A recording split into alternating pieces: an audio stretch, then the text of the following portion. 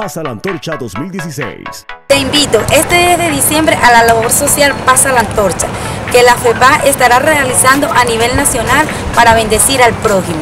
Únete, Dios te bendiga.